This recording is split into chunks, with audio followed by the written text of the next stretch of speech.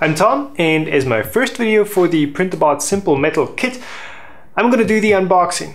So at this point again thank you to 3D eh, who provided me with this printer for the videos.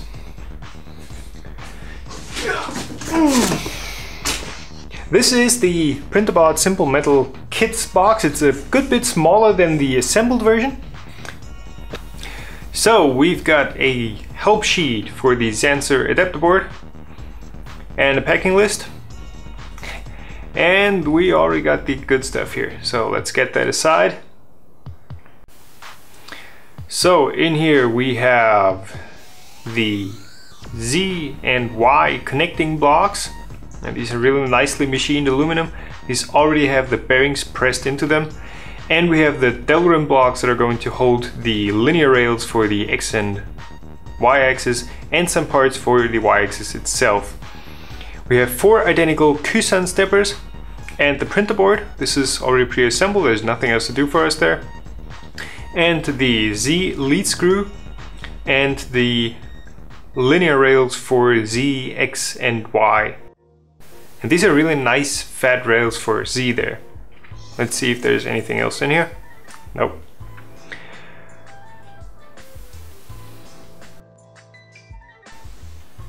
Okay, so what else do we have? We've got a filament sample of lovely pink.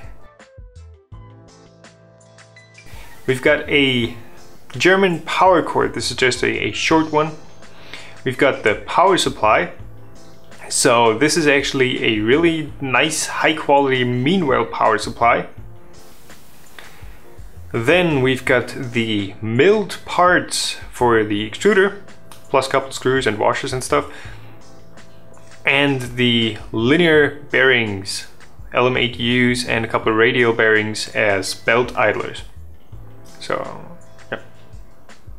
Then we've got the clamp that is going to hold down the linear bearings for the bed, so for the x-axis. A pack with wires, belts, wire wraps, and uh, those are the end stops. Then a big fat bag with all kinds of miscellaneous stuff. So in here we have the fan for the hot end, we have the Z-coupler, we have two laser cut wooden wrenches for the Z end stop sensor probe. We've got the we've got a pulley, we got the power cable, which includes the sensor adapter board. We've got a nice long micro USB cable, we got wrenches, and we've got the UBIS hot end, which is used on practically every other Printrbot as well. You got the Z probe sensor that is going to replace the end stop. We've got two bags of screws. Uh, these are metric screws mostly, except for like one or two. So that actually makes it possible for a European to get some replacement parts as well. And we've got the frame parts. So this is the Y arm with the mount for the hot end and the probe. This is the printer's base and the print bed, so the x-axis practically. And you might notice that these parts are a bit bigger than the ones from the simple maker's kit, the wooden one.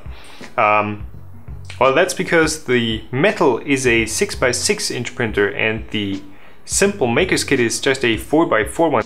So it's got 50% more printing space in each direction. So let's get these open.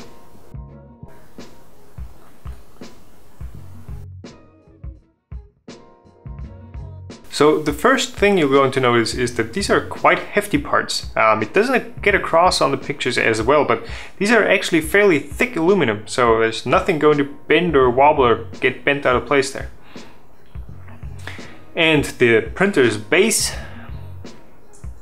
Now this is also a pretty intricate but solid design. There's nothing going to wobble around or shake or, you know, and uh, the other thing you're going to notice it, is that these are actually really nicely powder coated. And we've got the Y arm. Yep, come on. Okay, so this is the Y arm with the hole with the hole for the hot end and the Z probe, and the mounting spot for the hot ends fan. Whoops.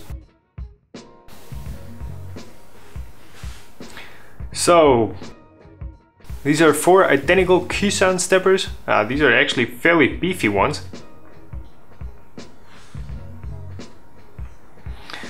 Then let's look at the bearing holder for the x-axis. Uh, this piece replaces what used to be zip ties on the simple, so it holds the bearings for the x-axis, so for the left and right movement of the bed. And I think this is a much neater solution than zip tying the linear bearings down.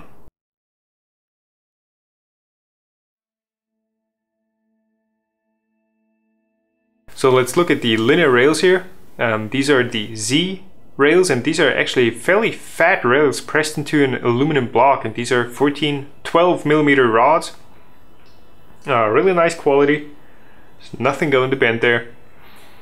Then we have the Acme lead screw for the Z-axis and the linear rails for X and Y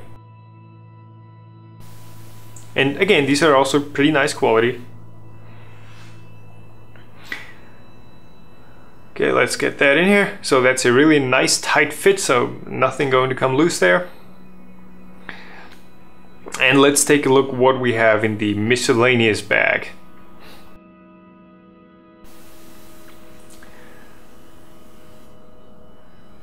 So for starters, we have three, four wrenches. We've got the mentioned sensor adapter board with the power jack and the connector, two laser cut wrenches, and these don't fit so perfectly. Um, we got the extension cable for the Z probe. We got one, two pulleys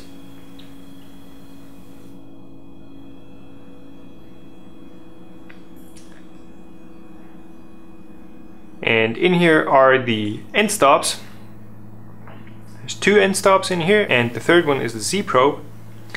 Then we have the extension wires for the hot end and the thermistor. We got the linear bearings and we're going to open up those when we need them.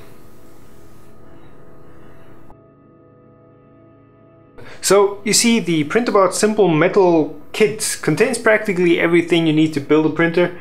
Um, a pair of wire cutters, like small ones like these, is also recommended.